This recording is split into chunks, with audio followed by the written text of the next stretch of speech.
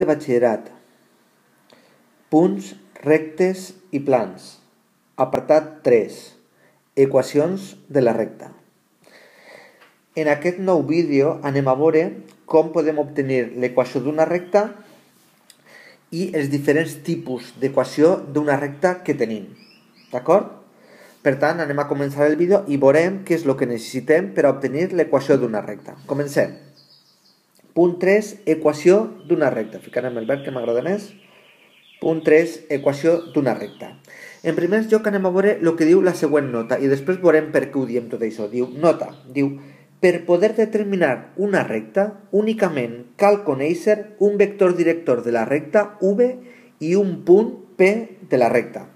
Veiem per què eh, diem tot això. Mireu, a veure, Imagineu que tenim una recta, aquí hem dibuixat aquesta recta de color roig, vale? I, hem, i anem a veure per què és cert que únicament necessitem trobar un, necessitem conèixer un punt P de la recta, en aquest cas hem marcat aquest punt P d'aquí, i un vector director de la recta, en aquest cas aquest vector V.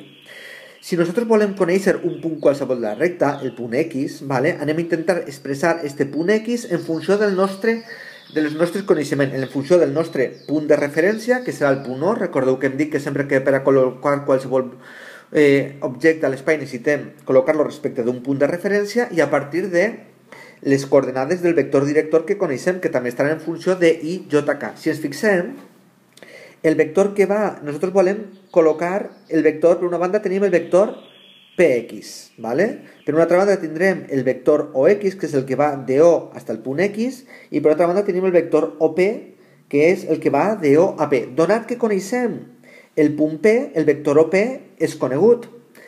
El vector PX no seria conegut, però fixeu-vos que el vector PX no serà més que lambda vegades, no sé quantes, el vector V, ja que el vector PX és té la mateixa direcció que el vector v, per tant el vector px lo podem escriure com lambda per el vector v.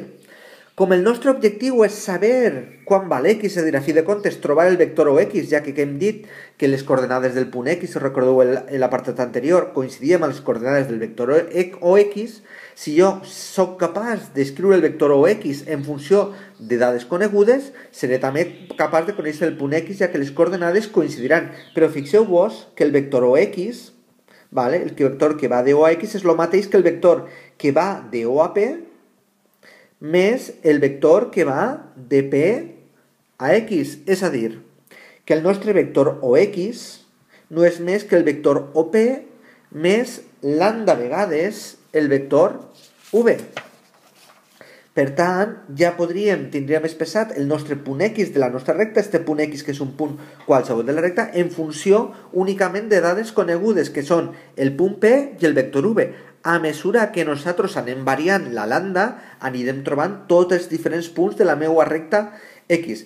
En el cas de que lambda fora 0, trobarem el punt P, que és evidentment el punt que coneixem de la recta. Això que diem aquí és el que anomenem equació vectorial de la recta. ¿Vale? Això ara ho escrivirem, d'acord? Ho veurem millor dir. I fixeu-vos que, com diem, l'únic que hem necessitat és el punt i el vector director. Bueno, una vegada que hem vist que únicament necessitem un punt i el vector director per trobar l'equació d'una recta, anem a fer això, a expressar i trobar totes i cada una de les diferents equacions d'una recta. En primer lloc tenim l'equació vectorial de la recta.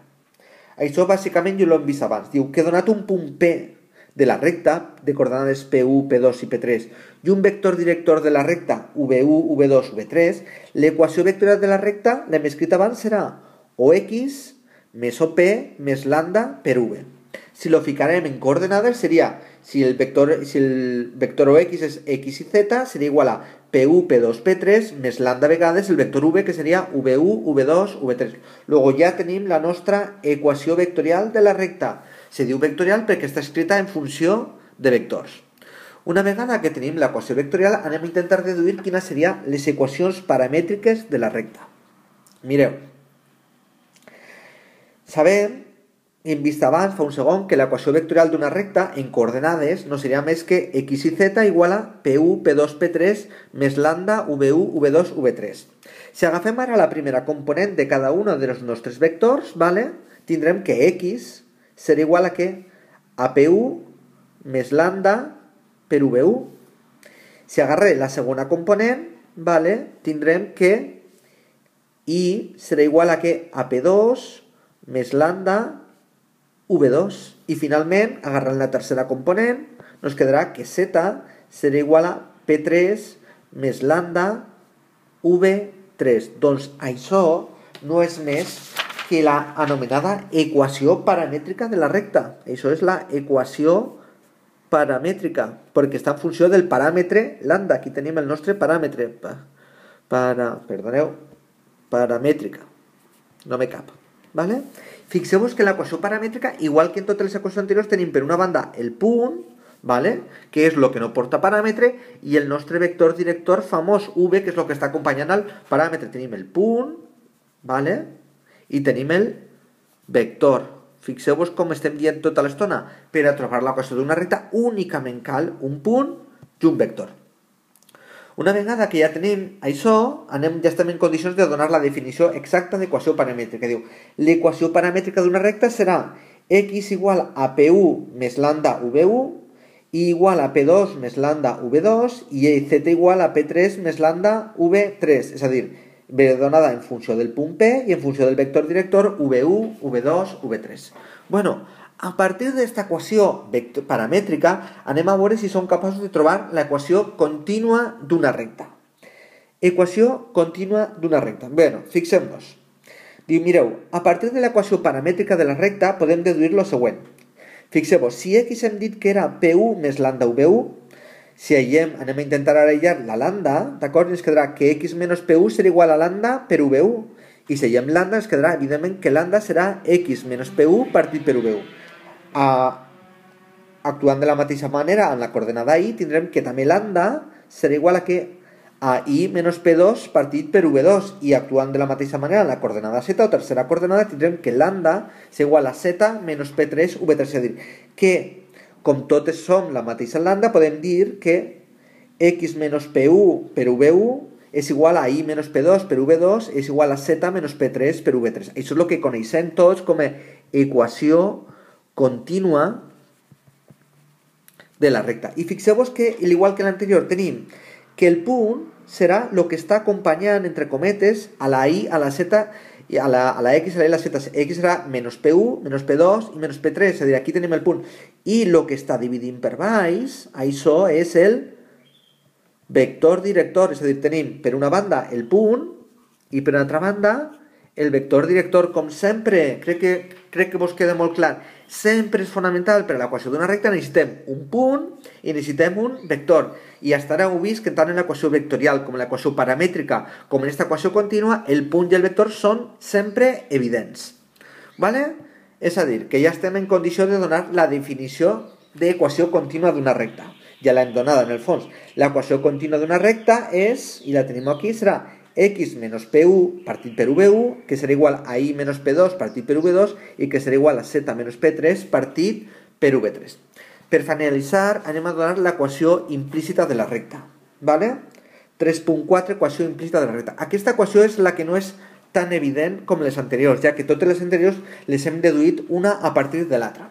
Per a deduir l'equació vectorial de la recta anem a aprendre un concepte que ja coneixem, Mireu, ja sabeu del tema anterior i sabeu d'altres cursos vale, que l'equació d'un pla sempre ve donada per la següent fórmula ax més bi més cz més d igual a 0. Això és l'equació d'un pla. Si ara tenim un pla i tenim un altre pla, en aquest cas a'(x més b'i més ct'(c més d' igual a 0, aquests plans, en cas de que, si no són combinació lineal, en cas de que no siguin combinació lineal, sempre es tallaran formant una recta. Penseu, per exemple, en una habitació. Si teniu dos parets d'una habitació, se tallen formant una recta, ¿vale? se tornen formant una recta, una columna, el que nosaltres veieu. Gràficament el podeu veure aquí. Mireu, no sé què he pintat mal, però bueno. Eh, a veure, si lleva això, vale. Gràficament ho teniu aquí. Tenim dos plans. Per una banda tenim el pla horitzontal, aquest d'aquí, ¿vale? aquest pla horitzontal, que és l'AX més BI més ZD més D igual a 0, i per altra banda tenim el pla aquest que està oblicu, ¿vale? que, estic, estic, estic pintant jo ara, que és a' x més b' i més c' d més d' igual a 0. Fixeu-vos que quan se tallen aquests dos trams estan formant una recta, la que teniu aquí, ho veieu? D'acord? Vaig a llevar això que queda molt lleig. Vale? Veieu que formen, formen una recta? Doncs aquesta és la recta que estan formant aquests dos plans. Per tant, vale, per tant, la solució del sistema format per les equacions anteriors, és a dir, per aquesta equació i per aquesta equació d'aquí, la solució d'aquest sistema és l'equació d'una recta. Per a resumir, per a que ens quede clar, l'equació implícita d'una recta ve donada per aquesta, per la solució d'aquest sistema, el format per el plan ax més bi més cz més d igual a 0 i per l'altre plan a' x més b' i més c' z més d' igual a 0. És a dir, que este conjunt m'està formant l'equació d'una recta i és anomenada equació implícita d'una recta. Anem a veure un exemple on anem a calcular a partir de l'equació contínua d'una recta les equacions implícita de la recta. Vale? Veieu l'exemple. Diu, donada l'equació contínua de la recta, aquesta que tenim aquí, troba l'equació implícita de la recta. Mireu, fer això és molt simple. En el fons, únicament consistís en anar igualant. Ja que tenim aquí una doble igualtat, podem intentar agarrar la primera igualtat. La primera igualtat, x menys 2 partit per 2 igual a y menys 3 partit per 4, podem, si resolem aquest sistema, vale, anem a resoldre, este 4 passa a l'altra banda multiplicant, ja que dividim, me quedarà que 4 serà igual a x menys 2, que és igual a 2 per y menys 3. És a dir, que 4x menys 8 serà igual a 2i menys 6, que si ho passe tota una banda ens quedarà que 4x menys 2i menys 2 serà igual a 0, és a dir, ja tinc l'equació del meu primer pla, ¿vale? i este primer pla l'he obtingut directament a partir de la primera igualtat. Si ara, per exemple, agarrem la segona igualtat, tenim que i menys 3 partit per 4 és igual a z més 2 partit per 3, si resolem això, ens quedarà que 3 per i menys 3 serà igual a 4 per z més 2, és a dir, que 3i menys 9 serà el mateix que 4z més 8, que si lo arreglem ens quedarà que, aquí, que 3i menys 4z menys d7 serà igual a 0.